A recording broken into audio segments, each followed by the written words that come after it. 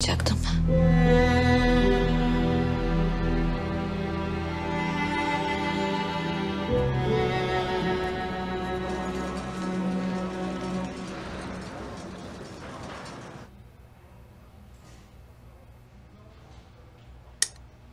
İmzaladı yani. Evet. Korkuyor ama Elif için tek şansın bu olduğunu anladı. Bir sorunumuz var. Büyük bir sorun.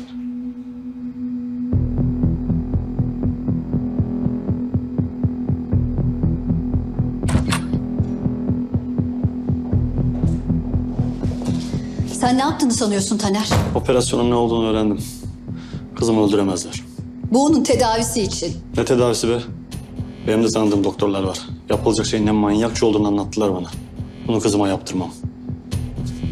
Senin böyle bir şeye hakkın yok. Mahkemeden karar aldım bile.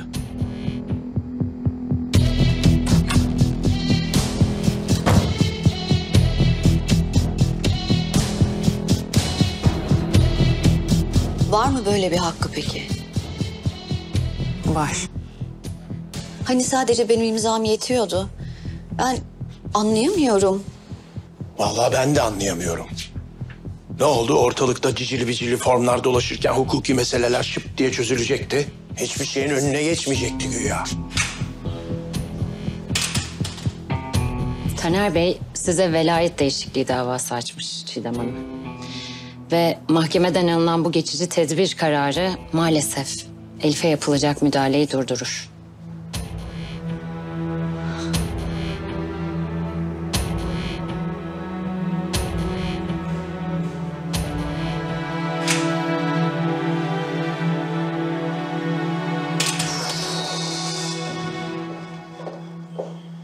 Operasyonu yapamayacağımıza haber vereyim. Dur bir bekle. Bekleyelim. Neyi bekliyoruz? Zamanın ilerlemesini ve bir şeylerin değişmesini. Bir şeyler hep değişir nasılsa. Ateş söylemişti. Dediği gibi olmuş muydu diye sormayacağım.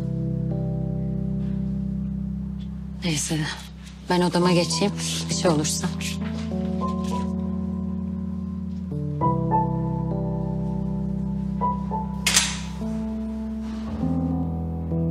Bu babayı ikna etmemiz gerekiyor. Kızın vakti daralıyor. Adam kızımın öldürülmesine müsaade etmeyeceğim diyor. Ne yapabiliriz ki? Bilmiyorum ben ne yapabiliriz. İşlemi mi anlatsak, istatistiklerden mi bahsetsek? Adamı ne kadar akıllı olduğumuza inandırıp onu ikna edelim bize boyun eğsin. Dövmesin bize. Bir doktor yapması gerekeni yapar. Doktor. Yap o zaman doktor. Bizde adresi yok ki babanın. Ben bulabilirim. Galiba. Hadi o zaman.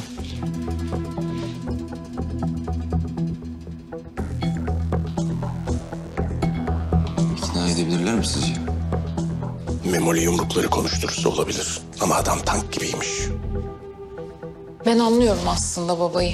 Yani bunca yıl sonra kızına kavuşmuş. Şimdi bir anda kaybetmek istemiyor. O zaman kızının yavaş yavaş ölmesini seyredecek.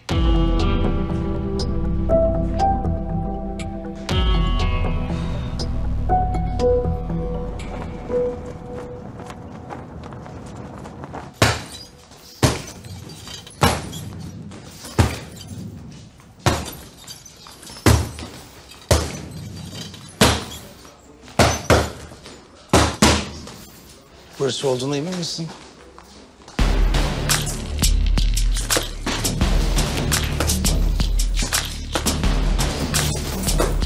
Eminim. Kayıtlı olduğu yer burası.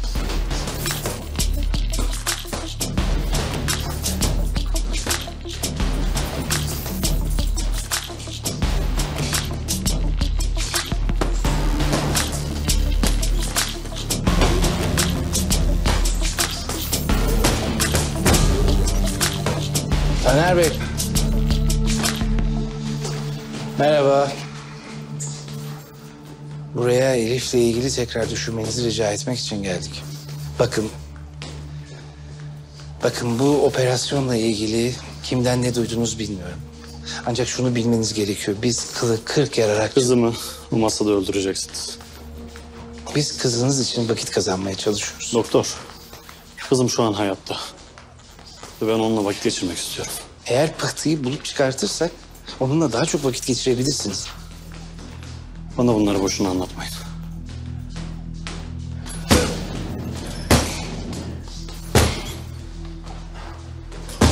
Peki tamam şöyle anlatayım o zaman.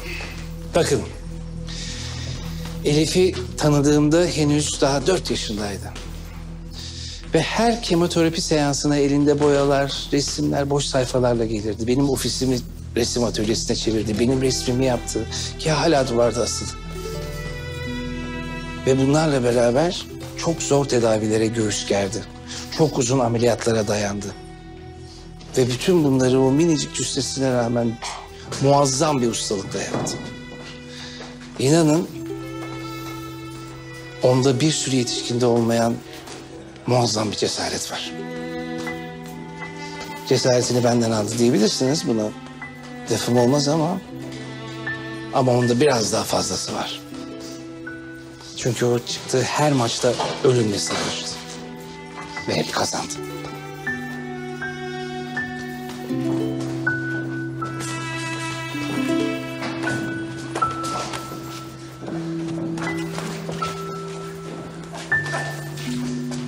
Kızım, sizin resminizi mi çizdi?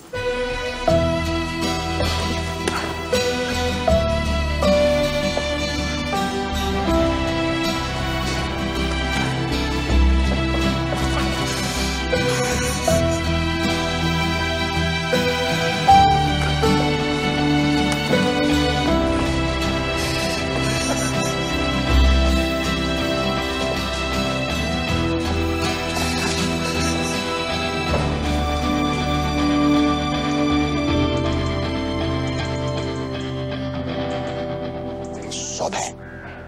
Vallahi iyi kıvırıyorsun bu saklambaç işini. Hemen sobeliyorsun. Kim?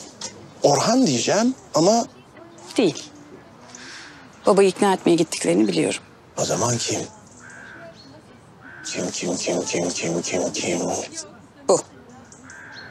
Yani Muzo'yu elinde bir bardak çayla görünce zaten çok kolay seni bulması. Takip ediyorsun. Ben diyorum ki şuraya bir semaver koy. Ha? Rahat ederim sen sağ ben selamet. Olmaz mı? Yarım saat, bir saat daha fazla poliklinik yaparım. Yok canım sağ ol. Zaten bugün poliklinik öyle yoğun değil. Ee, ben buraya biraz önce odamda olanlar için geldim aslında. Ne oldu? Otur şöyle gel. Çay söyleyeyim mi? Ne oldu? Anlat. Dedikodu mu var? Selin'den bahsediyorum. Ve onu iğnelemelerinden. İğne miğne yapmadım ben. Tamam. İşini düzgün yap dedim. O kadar maaş ödüyorsunuz. Karşılığını almak istemez misin? İçimden bir ses diyor ki... Selin'in burada çalışması fena halde sorun olacak ki ben bunu sana daha önce sordum. Sen de tamam dedin. Şimdi bu tavırların niye? Tavır mavır yok. Herkese nasıl davranıyorsam ona da öyle davranıyorum.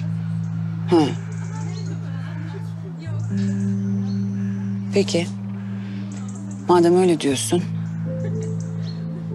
Eğer onun varlığını katlanılmaz buluyorsan söyleme cesaretini de bulmalısın. Yoksa bu hastane yaşanılmaz bir hale gelecek haberin olsun. Tamam mı?